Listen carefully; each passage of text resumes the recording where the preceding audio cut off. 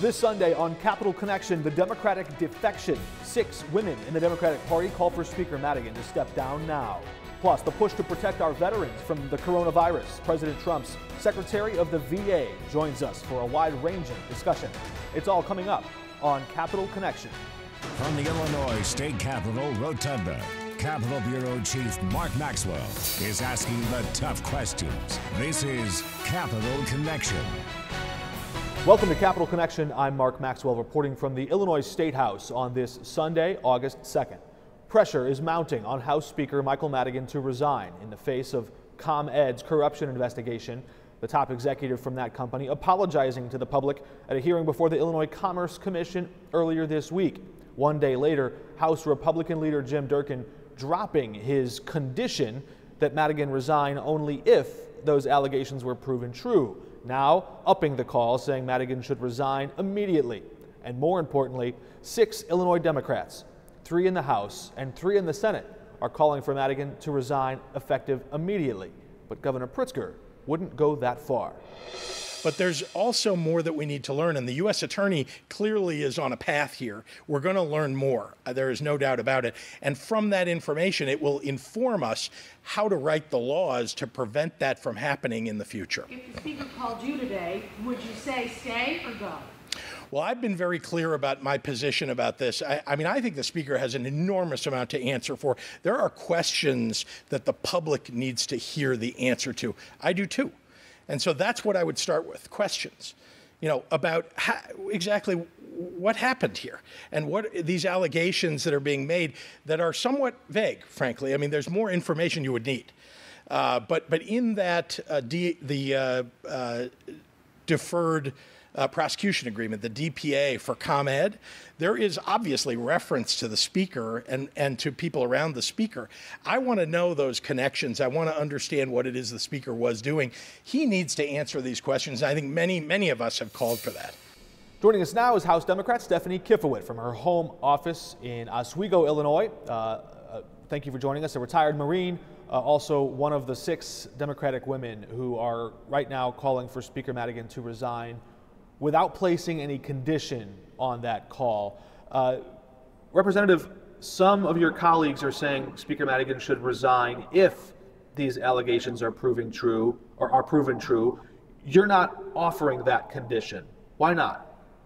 Well, I, I, I view it, I, I did send a statement like that similar earlier on, and he should be resigned. In, in my view, my statement um, related to his role as a House representative uh, my letter today in reflection is on his role as Speaker of the House, which is a very predominant leadership position, uh, one that requires public trust and integrity, which I think in the ComEd uh, deferred prosecution agreement shows that that's been undermined by the ac actions and allegations that are in that document.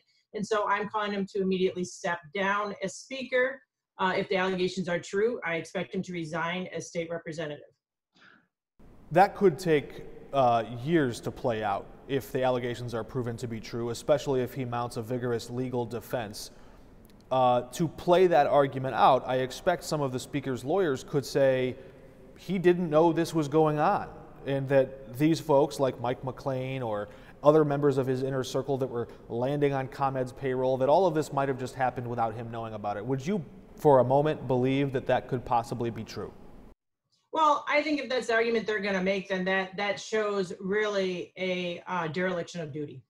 Because if you're Speaker of the House, you should know if individuals are using your name or are promoting uh, favoritism to uh, to quote uh, keep you happy, public official A to keep happy. Uh, that that's a dereliction of duty that leads to undermining the trust and the integrity of the office of Speaker of the House. So just like you said, it could take years um, of guilt to be proven, but I think leadership in the House is very important, and we cannot have a Speaker of the House under FBI scrutiny or even listed in FBI documents. It's just simply, um, it's just simply wrong. And you raised the issue of a conflict of interest because as the House of Representatives and the Illinois Senate uh, consider this ethics discussion moving forward, I think you articulated in your letter to the Speaker that that itself raises a conflict for him because he would be in charge of or would hold significant sway over the process and debate in writing new ethics rules that he himself might be bound by. Uh, that's 100% correct. We, and I believe that we, as representatives in the House of uh, Illinois House, need to look at the whole situation, not just with ComEd, but the whole process in which these decisions get made and, and where could be a check and balance put into place. Right now, all the employees in the Illinois House research staff, issue staff, fall under the sole discretion of the speaker. In fact, even our legislative assistants fall under that, and, and we've been cut out of any process with them. So everybody falls under the onus and the um, under the umbrella of the Speaker of the House, which is why it is so important that we have uh, a, a person in there of integrity that has the public trust and like you said does not have a conflict of interest when we are looking at trying to get substantial ethics reform. And this we need to look at specifically ComEd and how this legislation came about and he was uh, one of the chief um, organizers for it. Yeah I, it, it's noteworthy that the deferred prosecution agreement came out 13 days before you wrote your letter. That strikes me because you did not immediately pounce on this. It seems you stopped and considered and read and thought this through, you mulled it over. Was that a difficult decision? Was it hard for you to press send on that letter? Uh, it, it, really is. It is. And as I, I opened my letter, um, I've been a state representative eight years. And I would say for the first four years, it's like drinking from a fire hose. You have to figure everything out. And I, I truly hold people um, in my heart to, to, to do the right thing. And I immediately sent out a statement that said if they're true, he should resign uh, because to set that bar. And then, like you said, I read, I researched, I self-reflected, and um, this is just not the person a, a leader that I, I can support. And it, it's it's certainly not an individual that I think uh, right now, with the public trust being broken, with the integrity of the office of, of Speaker being in question, and the conflict of interest, it, I, I don't think he should be the Speaker of the House and should immediately step down it's not often that we in the public get to peek behind the curtain in the deliberative process to see how lawmakers come to their uh, opinion. Sometimes in committee debate or in floor debate, we'll see snippets of it here or there, but those true moments where lawmakers have to wrestle with really heavy issues, we don't often see that. I think by design, because that's that's a careful process. Lawmakers want to make sure they're making the right decisions there. But in your conversations with your colleagues, how many other House Democrats are there right now who maybe are today where you were just yesterday or two days ago or three days ago wrestling with all this and thinking to themselves, I don't know if I can support this man for Speaker any longer? Well, I, I don't know the number. Um, I think every every uh, individual in the in the in the House needs to reflect and and personally digest these in in their own way and in their own shape. It's very personal and it is very um, stressful. I've had some nights I didn't sleep well thinking of this, and I think a lot of my colleagues are going through the same process, whether or not uh, they make the decision I did. I, I hold no judgment because uh, this is a very personal, reflective thing to come out against an individual such as uh, the Speaker of the House and to uh, stake a claim that this is just unacceptable behavior. And, and unspoken. I'm sorry, I didn't mean to cut you off. No, no, and and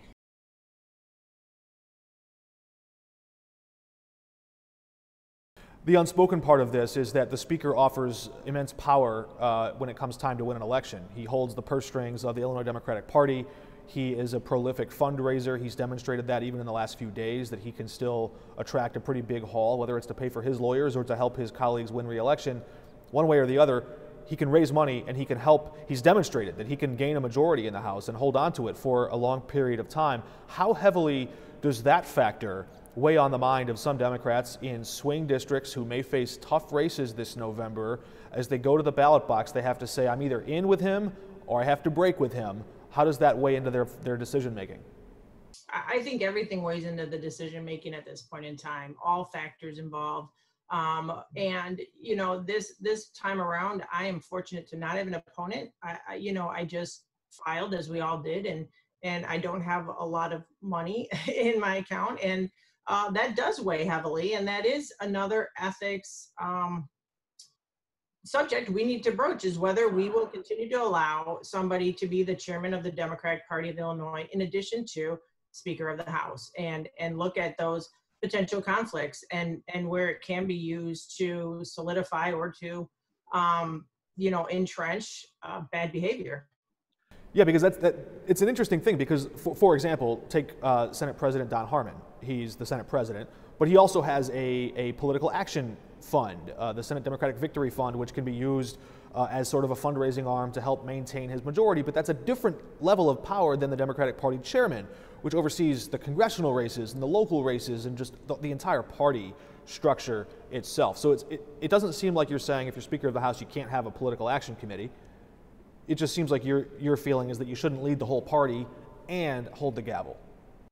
Correct. I think that's that's a subject matter that uh, myself and my colleagues have to have a serious conversation on whether uh, those leadership positions should be separate to allow for a little bit more accountability and checks and balances. And right now, it's been held by the same individual for decades.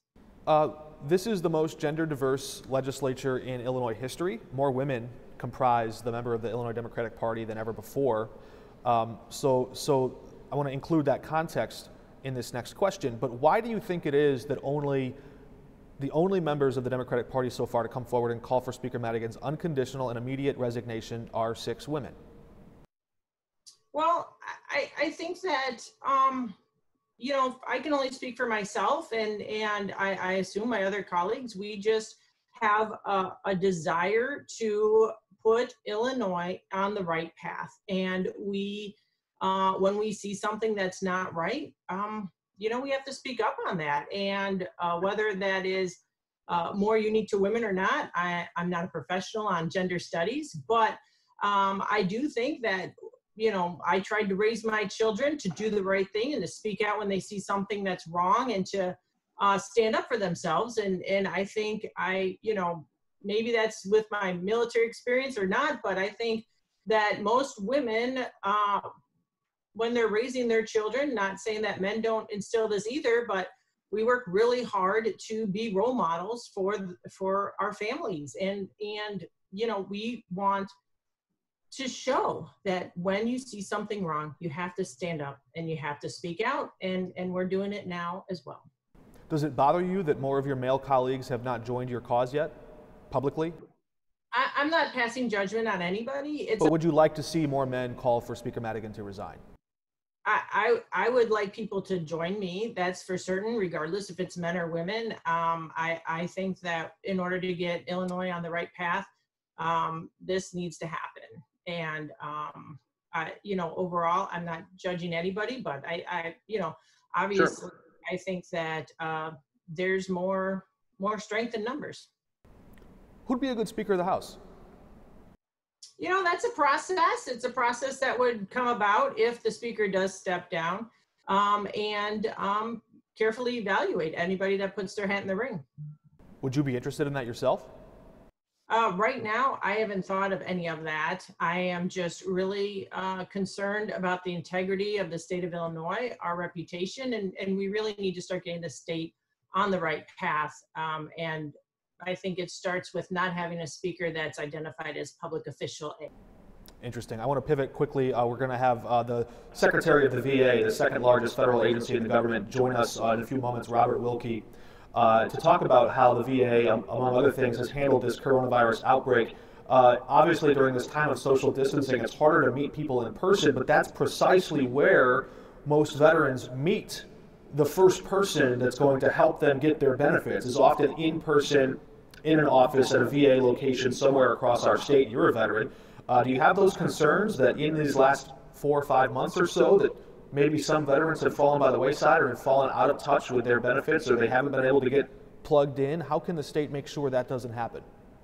Oh, I think that's a, a, a you know really serious question, and and I have to say I've been on calls with uh, with him, and I appreciate all the information he's given us as chairs of uh, the Veterans Affairs committees in that in uh, nationwide and they are working really hard and it, it is very serious. And um, you know not even with claims but depression isolation uh, relapses.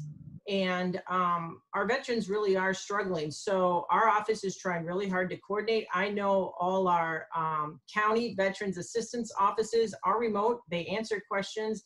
They are taking phone calls and they're trying to do all that they can I'm also on the board of Illinois Joining Forces, and we are making proactive calls to veterans to see how they're doing. And, and it really is a community effort. So we have to reach out to them and uh, reach out to the veterans and make sure that they're getting the services they need. And it is, it, it's, it's all around. I'm also on the governor's challenge to prevent veteran suicide. And we're talking about how COVID is really causing depression in, in veteran circles as well. So the whole COVID situation is affecting veterans profoundly.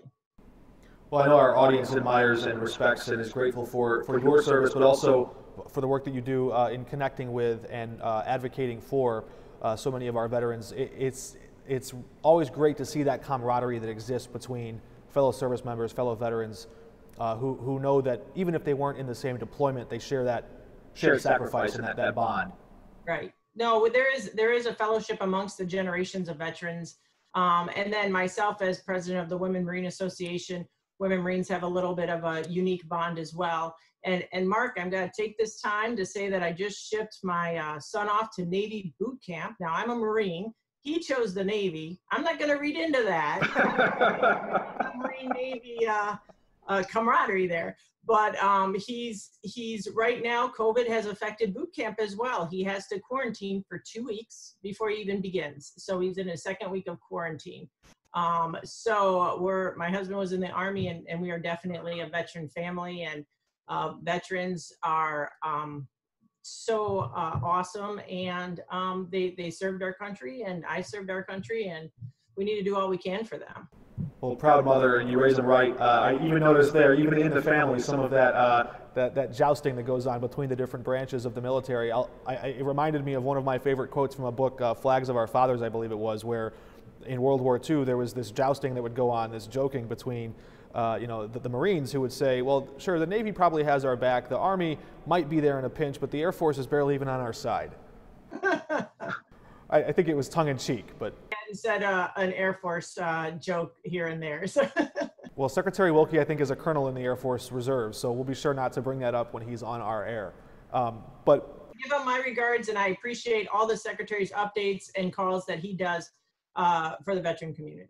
Before we let you go, what do you make of Governor Pritzker's restrictions on high school sports this fall? Is he drawing the right line, or is he pushing this too far? We, you mentioned the the side effects of these closures, this isolation that it has.